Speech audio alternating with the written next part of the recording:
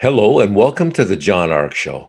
Today's episode is called New York City is Now More Dangerous Than Moscow. Before we begin, I want to encourage you to subscribe, like, comment, and follow us. Also, remember to click on the notification bell so you can be notified every time we upload a new episode. Um, I'd like to tell you about a service called HollywoodIsCalling.com. It's a great service that allows you to purchase live phone calls from your favorite celebrities so check them out. It's something you can buy for yourself or as a gift for someone you love. Now, let's get started. We now consider New York City to be more dangerous than Moscow. Now, if you look at the official statistics, you will uh, they will both claim to still be fairly safe, but in reality, the official statistics for both cities are lying through their teeth. Let's start with Moscow first.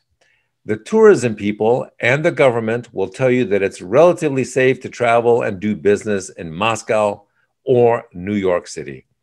The key word is relatively. Let me give you uh, some interesting examples and, and stories. If you travel to Moscow now and you go to any of the major tourism sites, you will see a lot of security. But if you venture off the beaten track, you will see just the opposite or something far worse. And that usually means being robbed by the police or people pretending to be the police. If you go to New York, you will quickly find out that there's very little police protection or appropriate response to 911 calls. The city seems to be more preoccupied with people singing in their homes during the holidays than they are about the explosion of ultra violent crimes in the city.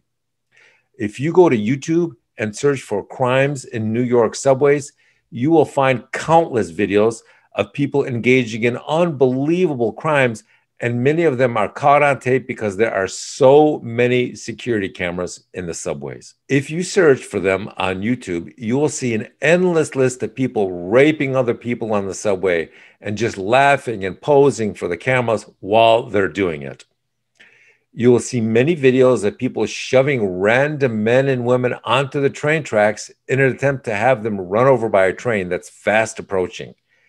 Given how frequently this happens, um, police are beginning to think that this form of random uh, subway murder or attempted murder is some new form of a, a recreational game that seems to be spontaneously erupting in the criminal culture. Uh, oftentimes, it appears to be done by young men who just go down into the subways for the express purpose of trying to kill people for the fun of it. You can see them high fiving each other right after they shove an old lady onto the tracks in an effort to kill her. Now, being attacked, robbed, or raped has been going on for decades in Moscow, but when you talk to people about it, it now appears to be escalating uh, in a dramatic fashion. People in Moscow seem to take the same pleasure in videotaping themselves committing crimes and posing them online as Americans have been doing for a while now. The difference is that in Moscow, they will rob or rape, and then they'll get your ID and send a text message to your family, threatening them with the same thing if they don't pay them a ransom. In New York now, there's a crime occurring that is becoming more and more common. It involves criminals stealing the wallets of someone who sort of looks like them and then deliberately dropping that stolen ID at the scene of their next big crime. The purpose of that is to throw the police off their trail and have them go on uh, go after the person in the ID that uh, they just stole uh, to uh, to prevent the actual perpetrator of the crime from being pursued.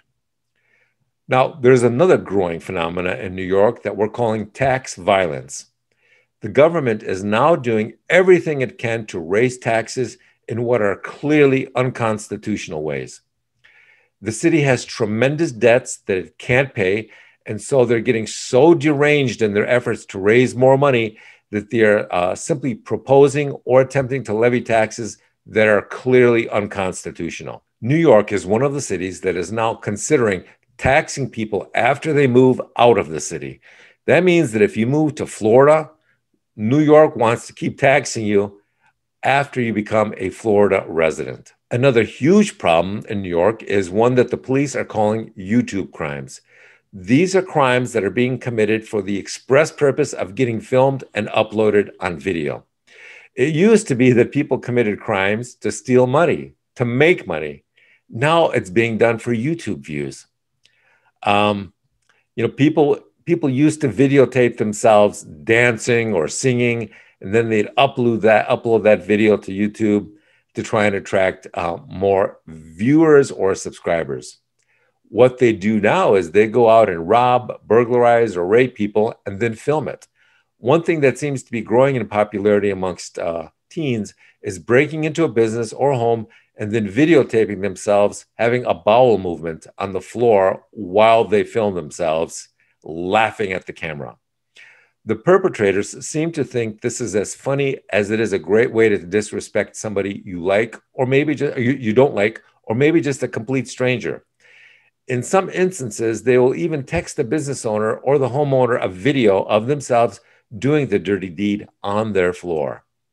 Another thing that is growing in popularity in New York is something called homeless immunity. That basically means that if you're homeless, you can get away with it almost you can get away with almost any crime and not get arrested for it.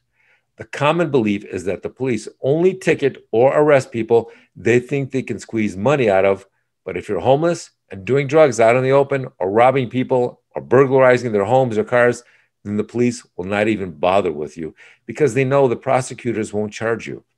They will basically let you walk back out, out onto the streets again because of that, there's a new category of criminal out there called the homeless mafia. Listen to this.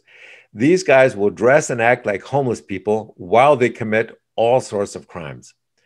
Most of these guys won't bathe for weeks or they will smear cream cheese under their armpits to smell bad enough to convince people that they're really homeless. Now, if you look bad enough, smell bad enough, and act crazy enough, then most police will give you what's known as the homeless immunity and just ask you to move on and get, get the heck out of the area. The homeless mafia almost never gets arrested or charged with their crimes because the politicians don't want to be seen as anti homeless or as cruel or unforgiving.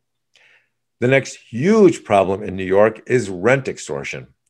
Even though landlords know there is a moratorium on rent evictions or foreclosures, they are still badgering tenants who can't pay their rent because they've lost their jobs.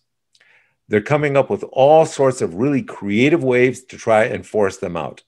Some of them are starting major construction or renovation projects now. Uh, and these projects are so loud and so openly intended to try and force their non paying rent tenants out of the building that this is now becoming more and more common. Some landlords are even uh, paying crackhead squatters to move into the apartments of their tenants who refuse to pay their rent. They'll pay homeless people to move in when the tenant is out of the apartment for a few hours. Then, when the non-tenant paying, uh, when the non-rent paying tenant comes back home, they find that their apartment is now occupied by three smelly homeless heroin junkies who are refusing to move out. It's like a new crackhead version of the War of the Roses movie. The next phenomena that makes New York worse than Moscow is that in Moscow, the schools are still open in New York, they are now closing all the public schools so that in addition to being out of work and not being able to pay your rent, New Yorkers now have to figure out what to do with their kids during the day. So, with that, I want to thank you for watching and tell you that we're going to have more great celebrity interviews coming up soon. And we're going to have great breaking news stories in the future. So, we want to encourage you to subscribe to our channel and click on the notification bell so you get notified every time we post a new story. Thank you for watching.